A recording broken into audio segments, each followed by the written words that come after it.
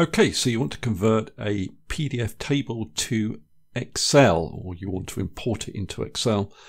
Now in this PDF document I have a number of tables, but the tables I want to export to Excel are these two here. Okay, let's see how this can be done. So I'm in Excel, I go to the Data tab on the ribbon, I go to Get Data from File, from PDF.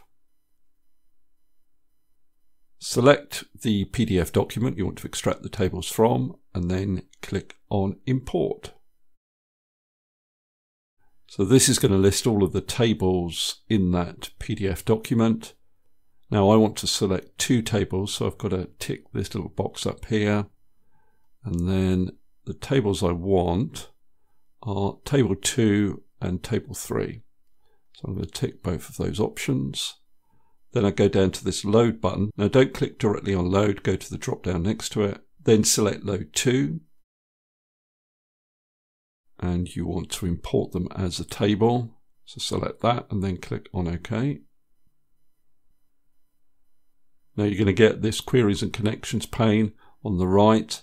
Really, we don't need to worry about that. But here are the tables on two separate sheets. Now, it has formatted the data for you, but you can get rid of that format if you don't like it.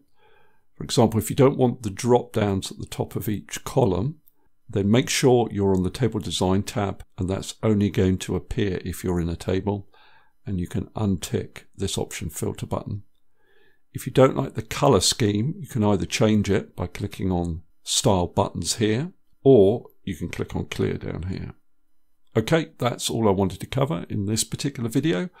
Hopefully that's useful. If it is, please give me a thumbs up and subscribe, and I'll see you next video.